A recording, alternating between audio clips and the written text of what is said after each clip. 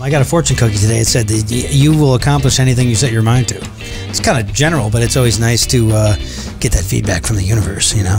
Yeah, imagine you're the guy at these at the fortune cookie company that has to find all this this general positivity. What would you write? What kind of fortune would you guys write just if you had to prank somebody?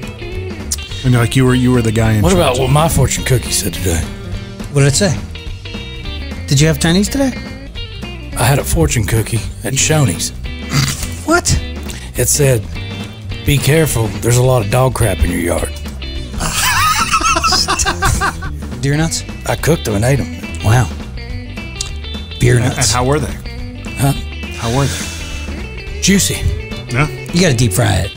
You know, you don't want to get a I, vein. I in grilled it, man. You know, The, the, like testicles? Yeah, testicles. Mm-hmm. you ever so been to the we- Tumbleweed Testicle Festival?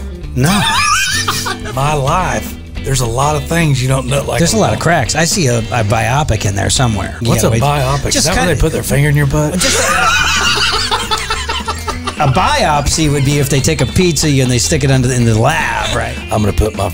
I'm gonna have to stick my thing.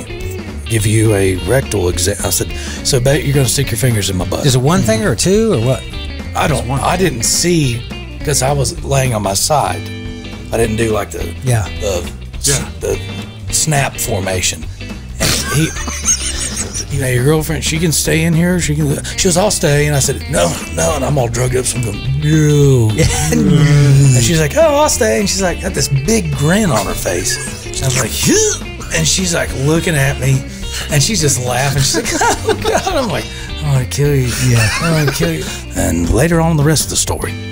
Subscribe, rate, and follow along at richredmond.com forward slash podcasts.